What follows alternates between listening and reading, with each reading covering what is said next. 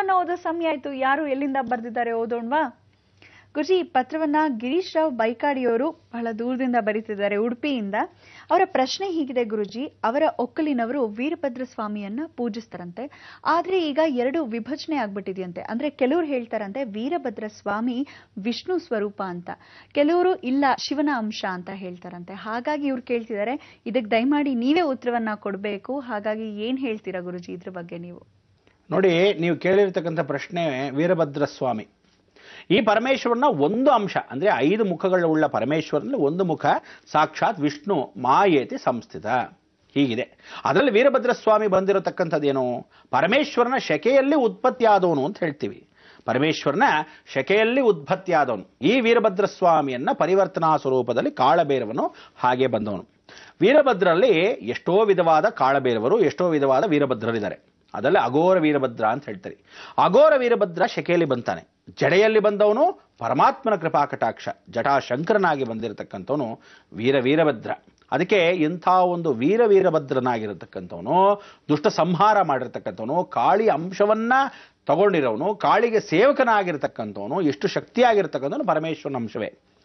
ವಿಷ್ಣು ಅಂಶ ಅಂತ ಹೇಳಿರ್ತಕ್ಕಂಥವ್ರಿಗೆ ಎಷ್ಟೋ ಜನ ಪಾಪ ಏನು ಅನ್ಕೊಂಡಿರ್ತಾರೆ? ಯದ್ಭಾವಂ ತದ್ಭವತಿ ಮಹಾವಿಷ್ಣುವೇ ಶಿವನಾಗಿದ್ದಾಗ ಇನ್ನು ಶಿವನ ಬೇರೆ, ವೀರಭದ್ರ ಬೇರೆ ಅಂತ ಯಾಕೆ ಅನ್ಕೋಬೇಕು? ಭಾವನೆಗಳು ತಕ್ಕಂಥ ಆದರೆ ಇವನ್ ತೇರಿರೋ ಅಂಶ ಏನೋ?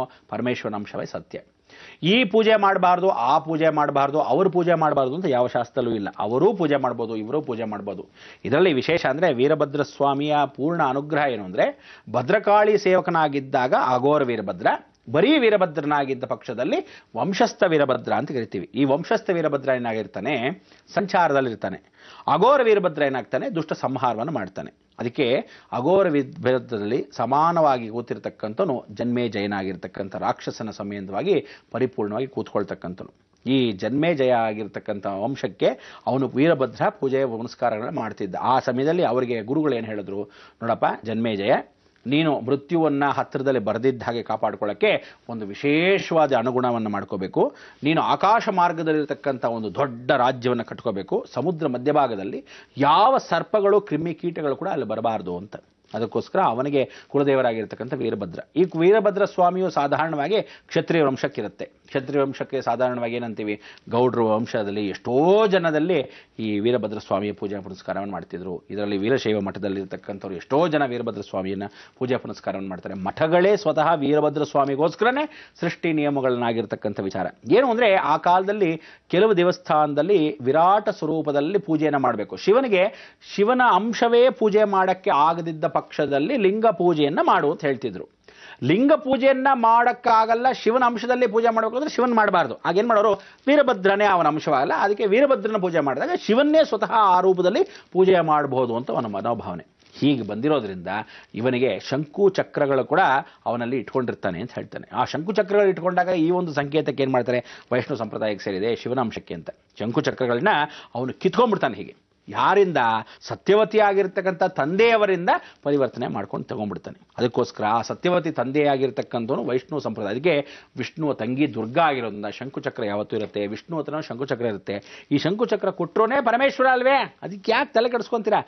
ಯದ್ಭಾವಂ ತದ್ಭವತಿ. ಎಲ್ಲ ಭಗವಂತನಿಗೂ ಒಂದೇ ಕಾರಣ, ಸರ್ವಂ ಜಗತ್ ಶಿವಮಯಂ. ಇದನ್ನು ಪೂಜಾ ಪುನಸ್ಕಾರ ಮಾಡ್ಕೊಳ್ಳಿ. ಯಾವತ್ತೂ ತಿಳ್ಕೊಳ್ಳಿ, ಒಂದು ವೆಂಕಟೇಶ್ವರ ಮಧ್ಯದಲ್ಲಿ ನಿಂತಿದ್ರೆ ವೆಂಕಟೇಶ್ವರ ಯಾವ ಕಾಲಕ್ಕೂ ಪ್ರಯೋಜನವಿಲ್ಲ ಅನ್ನೋ ಥರ ಆಗ್ಬಿಡುತ್ತೆ ವಿಗ್ರಹ. ಆದರೆ ಅದ್ರ ಹಿಂದ್ಗಡೆ ಇರ್ತಕ್ಕಂಥ ಪ್ರಭಾವಳಿ ಸೇರಿಸಿದ್ರೆ, ಏ, ಹೌದಪ್ಪ, ವೆಂಕಟೇಶ್ವರ ಎಷ್ಟು ಚೆನ್ನಾಗಿದ್ದಾನೆ ಅಂದರೆ ನೋಡಿ, ಒಳಭಾಗದಲ್ಲಿ ವಿಗ್ರಹ ವಿಷ್ಣುಮಾಯೆ ಹೊರಭಾಗದಲ್ಲಿರ್ತಕ್ಕಂಥ ಪ್ರಭಾವಳಿ ಶಿವಮಾಯೆ ಕೆಳಗಡೆ ಇರ್ತಕ್ಕಂಥ ಪೀಠ ಶಕ್ತಿ ಪೀಠ ಶಕ್ತಿ ಮಾಯೆ ಅಂದರೆ ಹರಿಹರ ಎರಡೂ ಸಂಗಮ ಜಗನ್ಮಾತೆ ಮಾಯೆ ಅಂತ. ಹೀಗಾಗಿರೋದ್ರಿಂದ ನೀವು ತಲೆ ಕೆಡಿಸ್ಕೊಳ್ಳದೆ ಯದ್ಭಾವಂ ತದ್ಭವತಿ, ಎಲ್ಲರೂ ಒಂದಾಗಿರಿ. ಜೀವನ ಪರ್ಯಂತ ಇನ್ನೇನು ಪ್ರಕೃತಿಯ ಲಯವಾಗೋ ಸಮಯ? ಎಲ್ಲವೂ ಜೀವನದಲ್ಲಿ ಇರೋವರೆಗೂ ಭಗವಂತನ ನಾಮಸ್ಮರಣೆ ಮಾಡಿಕೊಂಡು ಚೆನ್ನಾಗಿ ಆನಂದವಾಗಿದ್ದು ಶಾಂತಿ ನೆಮ್ಮದಿ ವಾತಾವರಣದಿಂದ ಈ ರೀತಿ ಮುಖಾಂತರ ಹಾರೈಸ್ತೀರಿ. ಗಿರೀಶ್ ರಾವ್ ಅವರೇ ಧನ್ಯವಾದಗಳು ಪತ್ರವನ್ನ ಕಳಿಸಿದ್ದಕ್ಕಾಗಿ. ಮುಂದಿನ ಪತ್ರವನ್ನ ಗುರುಜಿ ಬೃಂದಾ ಅವರು ಬೆಂಗಳೂರಿನಿಂದ ಬರೀತಿದ್ದಾರೆ.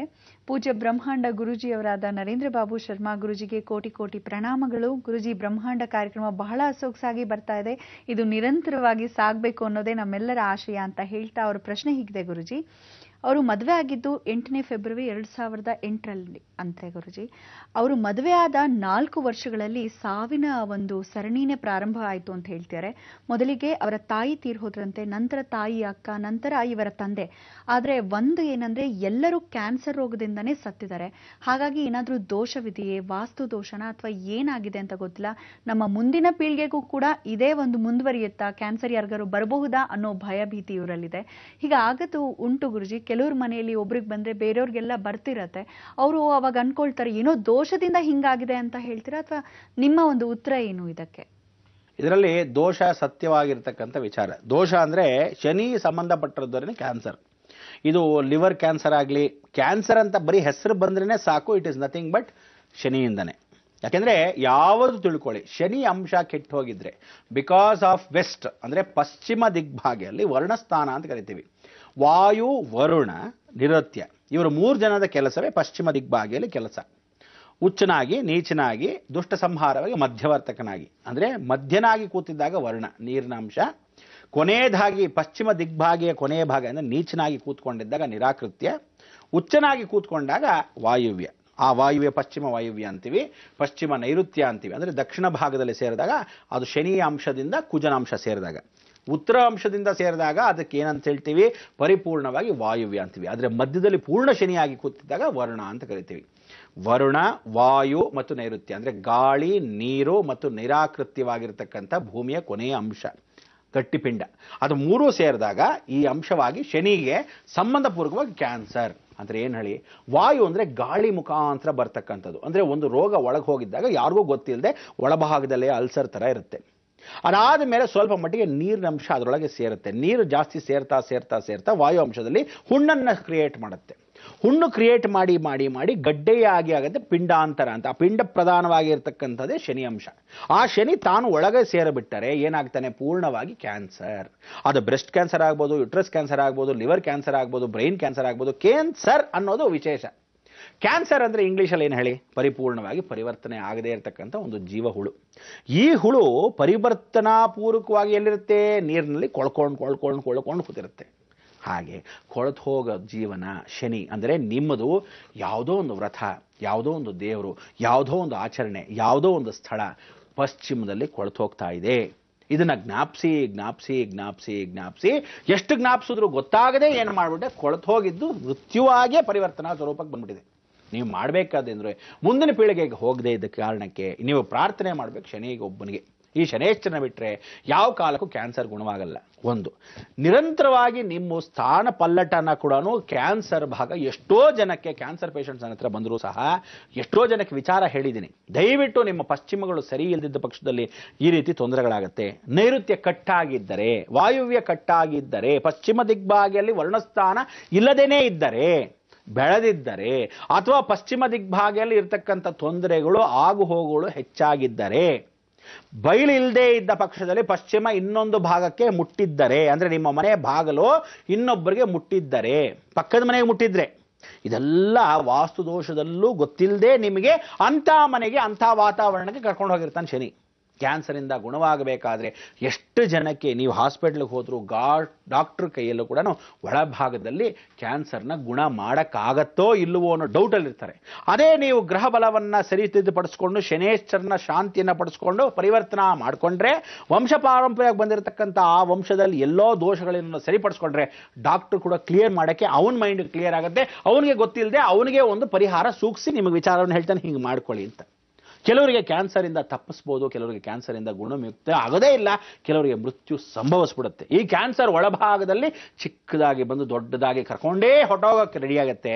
ಇಲ್ಲ, ದೊಡ್ಡದಾಗಿ ಬಂದಿರೋದು ಕ್ಯಾನ್ಸರ್ ಕೂಡ ಗುಣವಾಗುತ್ತೆ. ಇದು ಎಂಥ ಕ್ಷೇತ್ರ ಮಹಿಮೆ ಅಂದರೆ ಅಂಥ ವಿಶೇಷವಾಗಿರ್ತಕ್ಕಂಥ ಮಹಾಕ್ಷೇತ್ರ ಮಹಿಮೆಗಳು ಕೂಡ ಇಲ್ಲಿದೆ.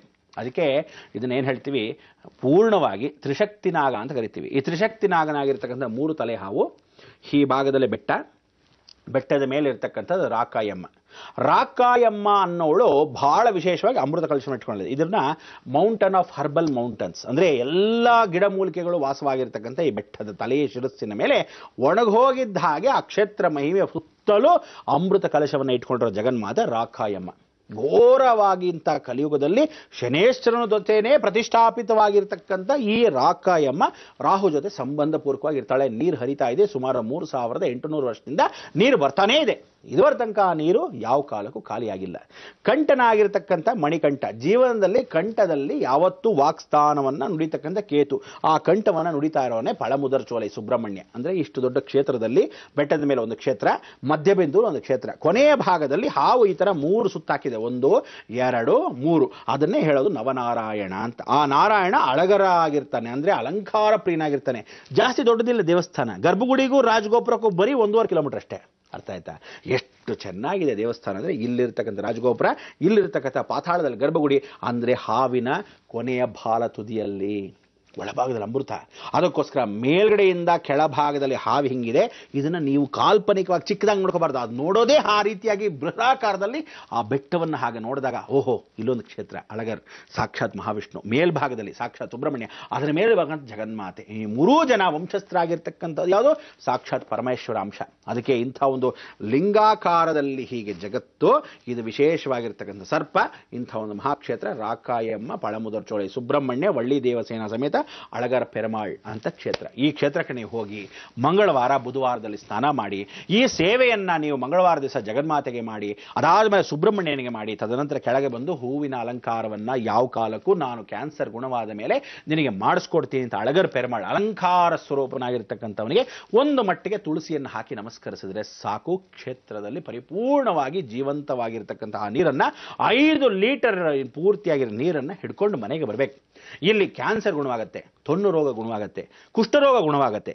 ದೇಹದಲ್ಲಿರ್ತಕ್ಕಂಥ ಎಲ್ಲ ವ್ಯಾಧಿಗಳು ಗುಣವಾಗುತ್ತೆ. ಮೂಳೆಗಳು ಆಪರೇಷನ್ ಆಗಿದೆ ಸರೋಗುತ್ತೆ ನರದೌರ್ಬಲ್ಯ ಇದ್ದ ಪರಿಪೂರ್ಣವಾಗುತ್ತೆ. ಕಣ್ಣುಗಳು ಇಲ್ಲದೆ ಇದ್ದು ಕಣ್ಣು ಕಾಂತಿ ಬರುತ್ತೆ. ತಲೆ ಭಾಗದಲ್ಲಿ ಬ್ರೈನ್ ಟ್ಯೂಮರ್ ಇದ್ದರೆ ಬ್ರೈನ್ ಟ್ಯೂಮರ್ ಸರೋಗುತ್ತೆ ಲಿವರ್ ಡ್ಯಾಮೇಜ್ ಆಗಿದ್ದ ಪರಿ ಪರಿವರ್ತನೆ ಆಗುತ್ತೆ. ನೀರು ಕುಡಿತಾ ಕುಡಿತಾ ನೀರನ್ನು ಹೆಚ್ಚಾಗಿ ತಗೊಂಡ ಪಕ್ಷದಲ್ಲಿ ಡಯಾಲಿಸಿಸ್ ಕೂಡ ಆಗಬೇಕಾಗಿಲ್ಲ. ಕಿಡ್ನಿ ಕೂಡ ಪರಿಪೂರ್ಣವಾಗಿರುತ್ತೆ. ಮೂತ್ರ ವಿಸರ್ಜನೆ, ಮಲಮೂತ್ರ ವಿಸರ್ಜನೆ ಆಗದೇ ಇದ್ದ ಪಕ್ಷದಲ್ಲಿ ಕಾನ್ಸ್ಟಿಪೇಷನ್ ಆಗಿರೋರು ಅವರುಗಳು ಸರಿ ಹೋಗುತ್ತೆ. ಚರ್ಮ ವ್ಯಾಧಿ ಇದ್ದ ಪಕ್ಷದಲ್ಲಿ ಚರ್ಮ ವ್ಯಾಧಿ ಗುಣವಾಗುತ್ತೆ.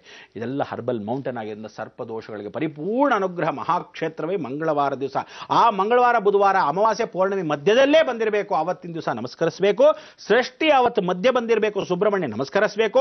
ಆವತ್ತು ಶ್ರವಣ ನಕ್ಷತ್ರ ಆಗಲಿ ಧರಿಷ್ಠ ನಕ್ಷತ್ರ ಆಗಲಿ, ಮಹಾವಿಷ್ಣು ಸಂಬಂಧಪೂರ್ವಕವಾಗಿರ್ತಕ್ಕಂಥ ಯಾವುದೇ ಬುಧವಾರವಾಗಲಿ ನಮಸ್ಕಾರ ಮಾಡಿದಾಗ ಮಹಾವಿಷ್ಣುವಿಗೆ ಪ್ರಿಯವಾಗಿರ್ತಕ್ಕಂಥ ದಿನವಾಗಲಿ ಆ ದಿನ ನಿಮಗೆ ಗುಣವಾಗುತ್ತೆ ಖಚಿತವಾಗಿ. ಇದನ್ನ ಮನೆಗೆ ತಂದು ಸ್ನಾನವನ್ನು ಕಂಟಿನ್ಯೂಸ್ ಆಗಿ ಮಾಡಬೇಕು. ಮೂರು ಅಮಾವಾಸ್ಯೆ, ಮೂರು ಪೌರ್ಣಮಿ ದಿವಸ ಮಾತ್ರ ಆ ಸ್ನಾನಗಳನ್ನು ಪ್ರತಿದಿನ ಮಾಡಬೇಕು. ಒಂದು ಕಪ್ಪು ನೀರು ತಂದಿರೋ ನೀರನ್ನು ಬಕೆಟ್ಗೆ ಸೇರಿಸ್ಕೊಂಡು ಅಲ್ಲಿ ಒಳಗಿರ್ತಕ್ಕಂಥ ಕುಂಕುಮನ್ನ ಸ್ವಲ್ಪ ಮಟ್ಟಿಗೆ ದೇವಸ್ಥಾನ ಕುಂಕುಮಾರ್ಚನೆಯನ್ನು ತಂದಿರೋ ಕುಂಕುಮವನ್ನು ಹಾಕ್ಕೊಂಡು ಮನೆ ವಾಯುವ್ಯದಲ್ಲಿರ್ತಕ್ಕಂಥ ಯಾವುದೇ ಹುತ್ತದ ಬಳಿ ನೀವು ಹೋಗಿ ಆ ಹುತ್ತದ ಮಣ್ಣನ್ನು ತಗೊಂಬಂದು ಶೇಖರಣೆ ಮಾಡಿಕೊಂಡು ಒಂದೊಂದು ಸಿಟಿಗೆ ಅದಕ್ಕೆ ಬಕೆಟ್ಗೆ ಹಾಕೊಂಡು ಸ್ನಾನವನ್ನು ಪೂರ್ವಕ್ಕೆ ನಿಂತುಕೊಂಡಾಗ ಸ್ನಾನವನ್ನು ಮಾಡಿದಾಗ ಈ ದೋಷಗಳು ಖಂಡಿತವಾಗಲೂ ಹೋಗುತ್ತೆ. ಆದರೆ ಸ್ಥಾನ ಪಲ್ಲಟನ ಮುಖ್ಯ. ಪಶ್ಚಿಮದಲ್ಲಿ ಏನಾಗಿದೆ ನೋಡ್ಕೊಳ್ಳಿ, ಎಲ್ಲವೂ ಸರಿ ಹೋಗುತ್ತೆ. ತದನಂತರ ಮೂಲವಾಗಿರ್ತಕ್ಕಂಥ ಈ ಮಂತ್ರಕ್ಕೆ ಪರಿವರ್ತನಾ ಸ್ವರೂಪಕ್ಕೆ ಮಂತ್ರವನ್ನು ಕೊಡ್ತೀನಿ. ಆದರೆ ಮಂತ್ರಕ್ಕೆ ಸಮಯವಿಲ್ಲ. ಆ ಮಂತ್ರ ದೊಡ್ಡದಾಗಿರೋದ್ರಿಂದ ಗೋಪ್ಯವಾಗಿರ್ತಕ್ಕಂಥ ಈ ಮಂತ್ರವನ್ನು ಕಿವಿಯಲ್ಲಿ ಹೇಳಬೇಕು. ಕಿವಿಯಲ್ಲಿ ಹೇಳ್ತಕ್ಕಂಥ ವಿಚಾರವನ್ನು ನಿಮ್ಗೆ ತಿಳಿಸ್ಕೊಡ್ತೀನಿ. ಯಾರಾದರೂ ಸಂಬಂಧಪೂರ್ವಕವಾಗಿರೋರನ್ನ ಕಳಿಸ್ಕೊಡಿ, ಪರಿವರ್ತನೆ ಮಾಡ್ಕೊಳ್ಳೋಕ್ಕೆ ಅವಕಾಶವಾಗುತ್ತೆ.